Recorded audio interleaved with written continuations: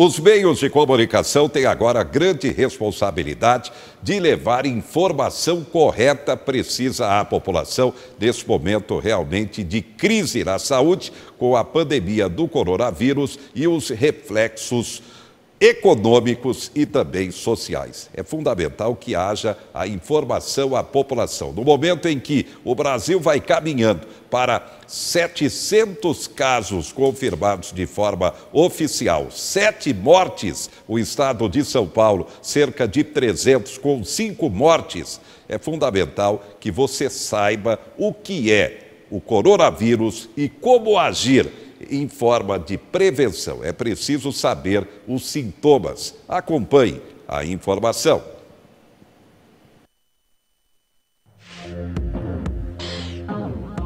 A vacina, eh, com otimismo, a gente fala em um ano para ter uma vacina. Ou seja, nada a curto prazo. Existem vários estudos sendo feitos para desenvolver novos medicamentos ou mesmo medicamentos que a gente já conhece para ver se tem ação sobre o coronavírus. Eh, e, e neste momento nada que seja que faça muita diferença. O importante é você higienizar as suas mãos. O álcool gel ele é muito mais prático porque ele é mais fácil. Você não precisa de água, não precisa de sabão líquido porque é muito melhor sabão líquido do que sabão em pedaço, e você não precisa de papel toalha. Ambos são extremamente eficazes. Só se você tiver com sujidade visível na sua mão, você tem que lavar as mãos. Caso contrário, álcool gel. O Covid-19 está mostrando que a idade é um fator muito importante de risco. E os mais velhos, como eles em geral eles têm alguma outra doença associada, não só à idade, então a imunidade está mais baixa com a idade e eles, a maioria deles ou tem um problema respiratório, ou cardíaco, ou diabetes, então acaba pegando essa população de risco. No início, é, o número de homens era bem maior do que o de mulheres, porque se a gente for lembrar, começou lá naquele mercado de peixe lá em Wuhan e, e, e, proporcionalmente tinham muito mais homens expostos do que mulheres. Eu não acredito que o sexo vai fazer diferença, e sim a exposição do sexo masculino é maior do que do sexo feminino. As crianças é um caso muito interessante. A gente, a gente não está vendo as crianças adoecerem tão, tão grave, nós não estamos vendo crianças morrerem de, do Covid-19, felizmente. É, mas provavelmente o papel das crianças nós não sabemos ainda nessa epidemia. Talvez as crianças possam ser carreadoras, elas podem estar infectadas com esse vírus e disseminando no ambiente, mas isso ainda não está muito claro.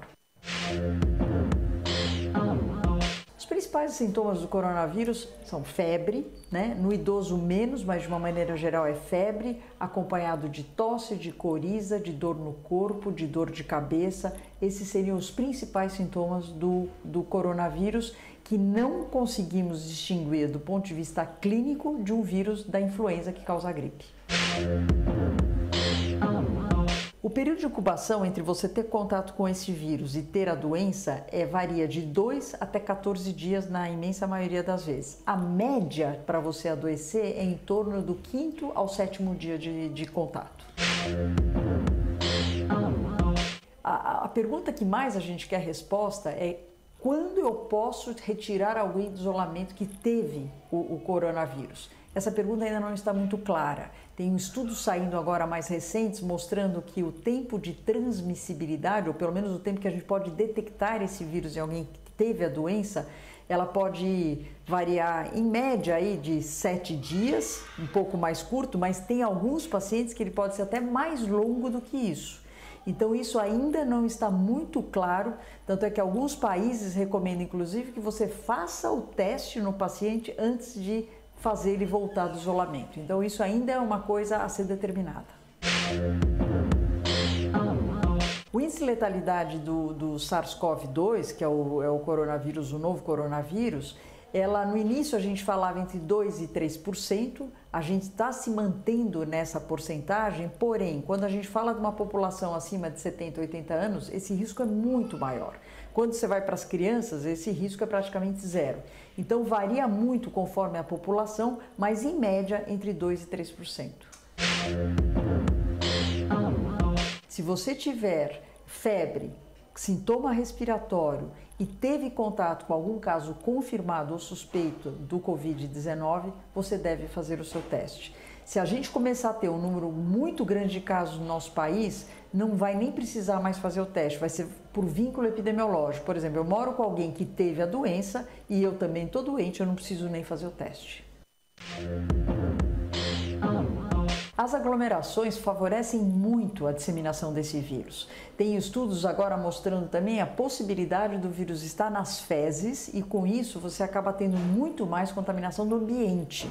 Então, a hora que você tem muita gente aglomerada, você tem um risco maior não só da transmissão respiratória, mas também na transmissão do contato e também na transmissão até via indireta, talvez através de, de outros locais onde todo mundo vai, por exemplo, com as mãos. O avião, é, você tem, é, a gente sempre fala, o risco é você ter uma pessoa infectada, quem está sob risco é quem está nas poltronas, duas fileiras para frente, duas fileiras para trás e para os lados. O resto do avião, o risco é muito menor. É fundamental no transporte público você usar o álcool gel nas mãos para evitar a sua autocontaminação, porque é muito comum a gente colocar a mão na face, no rosto, nos olhos, então é isso que a gente tem que evitar. Todo mundo que tiver com sintoma respiratório, independente de ser o, o SARS-CoV-2, que é o coronavírus, ou o vírus da gripe ou para-influenza, deve evitar expor as outras pessoas porque a gente sabe que a imensa maioria vai ter como se fosse uma gripe, as pessoas que não estão de alto risco. Porém, essas pessoas podem transmitir para pessoas muito mais vulneráveis. O que nós precisamos evitar nesse momento é morbidade, o que, que significa isso? Internação de pacientes mais vulneráveis e morte dos pacientes muito mais vulneráveis. As máscaras devem ser usadas para quem tem sintoma respiratório e precisa sair de casa. Então, esta pessoa obrigatoriamente deve usar uma, uma máscara como barreira para não contaminar o ambiente. O coronavírus, até este momento, não está demonstrado que os pets, os nossos animais de estimação, etc., estejam sob risco. Mas isso ainda é uma pergunta não respondida. Até este momento, não há evidência.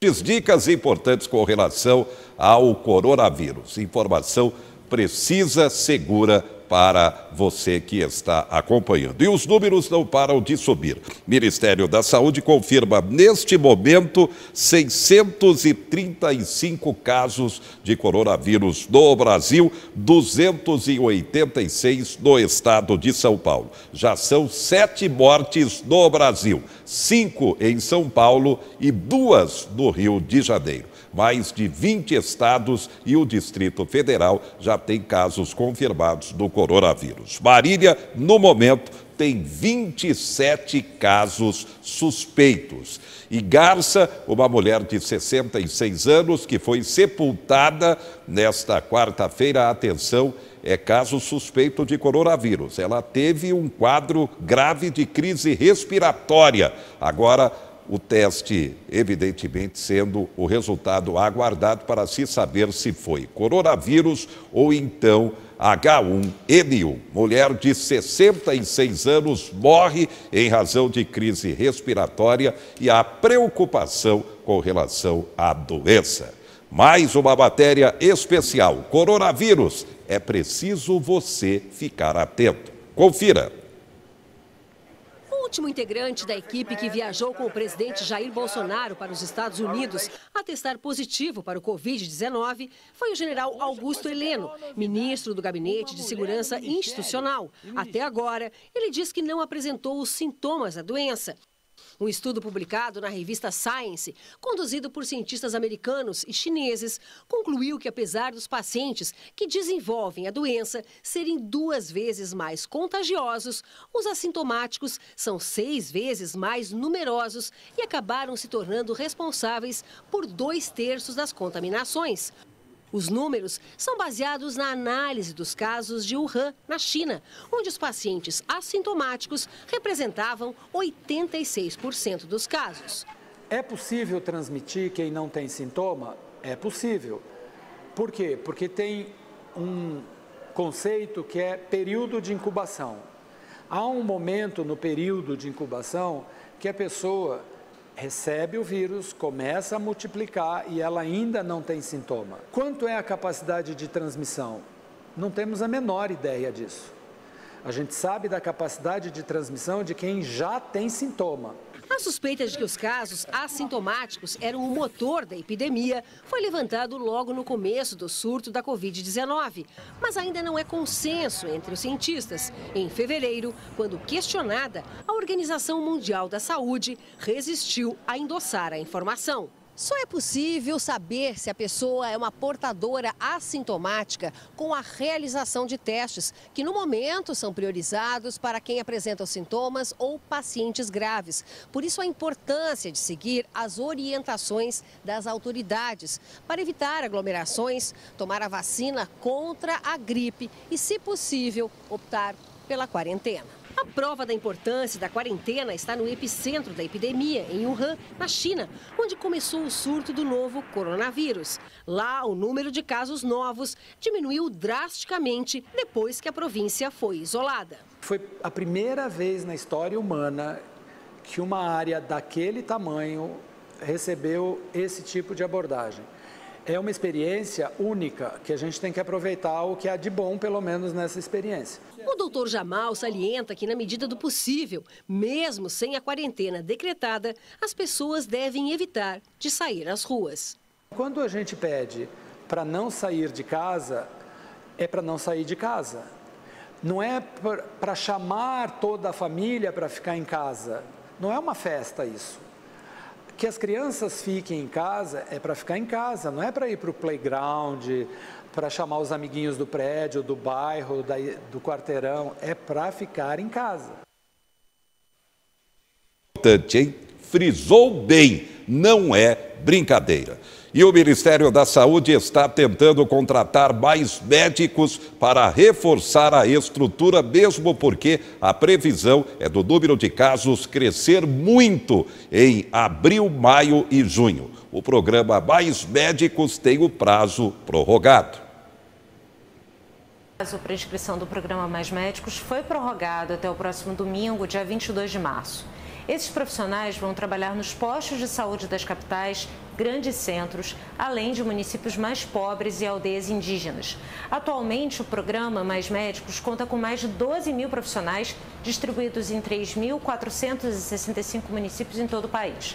Até o momento, 5.226 médicos já tiveram suas inscrições aceitas para reforçar o atendimento à população contra a pandemia do coronavírus. A partir de agora, compra como máscaras, por exemplo, estão dispensadas de licitação, não é isso?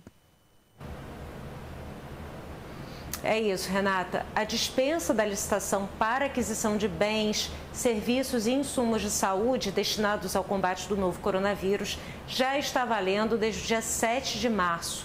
E o Ministério da Saúde está convocando empresas a fornecer a relação de produtos para diagnóstico do Covid-19. Os interessados devem enviar as propostas até amanhã.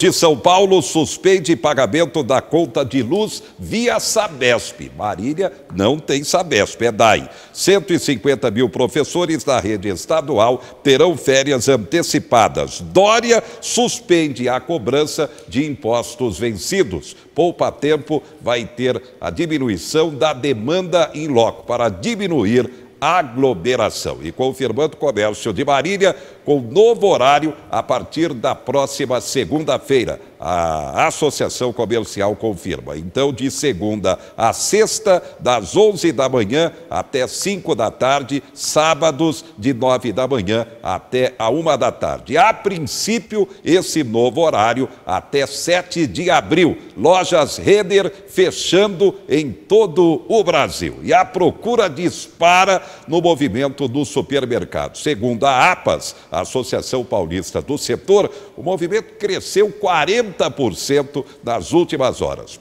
População indo aos supermercados comprar alimentos e produtos de higiene e limpeza para estocagem. É o nosso destaque final. Acompanhe. supermercado para comprar álcool em gel. Eu já fui em quatro lugares e não encontrei. Ontem chegou uma remessa para nós de gel, em menos de duas horas tinha ido embora já. Além da grande procura por álcool e produtos de limpeza, tem muita gente comprando comida para estocar. A gente não sabe semana que vem, né, o que vai acontecer e cada dia que passa está piorando. Já a Regina pensa diferente e diz que foi ao supermercado comprar apenas o essencial. Se eu comprar levar muito, eu vou prejudicar outra pessoa. Então eu estou comprando o que eu tenho costume de comprar aqui mesmo, normal. Alguns supermercados já se viram obrigados a limitar o número de unidades por cliente em produtos muito procurados como álcool e papel higiênico. Mas o setor pede que os clientes evitem encher o carrinho toda vez que forem às compras compra para o mês, aí nós conseguimos reabastecer a loja, o SEASA, os fornecedores, todos conseguem entregar com uma tranquilidade e nós podemos fazer uma, uma é, reposição é, com mais frequência. A Organização Mundial da Saúde foi bem clara: evitar grandes aglomerações. Mas muitos locais, como o supermercado, por exemplo, continuam lotados. E aí, como controlar o fluxo de pessoas? E as pessoas, como elas estão conscientes de que o problema é grave?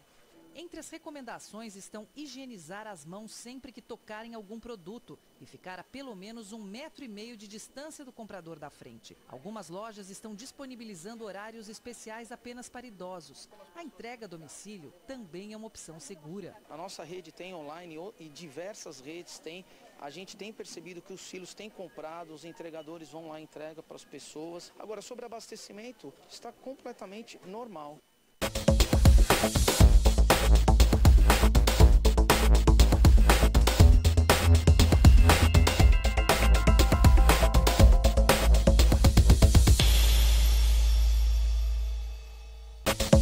Quatro Notícias. Oferecimento Unimar EAD. Tradição e qualidade ao seu alcance. Acesse unimar.br.